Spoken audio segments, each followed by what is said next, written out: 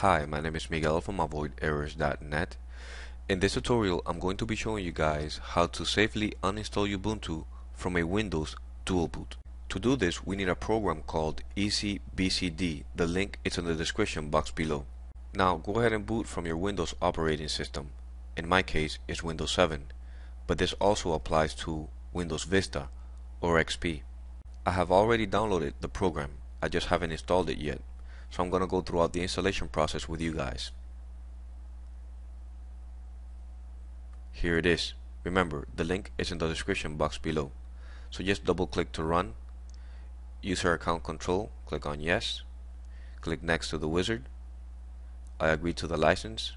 Next here. Default locations to install. And then finish the wizard.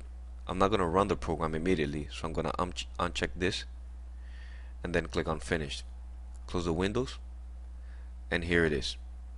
Very simple installation. Now go ahead and double click to run. Click yes to the user account control. And then click on BCD deployment and click on write MBR that's it. Close the program. And now to reclaim the uh, partitions go to computer right click computer and then click on manage. Then click on disk management. And this is the uh, Ubuntu partitions. So right click and delete volume. Click yes. Make sure you select the uh, Ubuntu partitions. Right click delete volume again. Click a yes to confirm.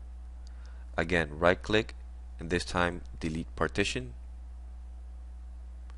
click yes again and now to reclaim the partition right click on the C drive extend volume click next to the wizard make sure the drive is selected click next and finish. That's it. You're done. Thank you for watching this video. My name is Miguel. If you have any questions please feel free to post them in the comment section below. Thank you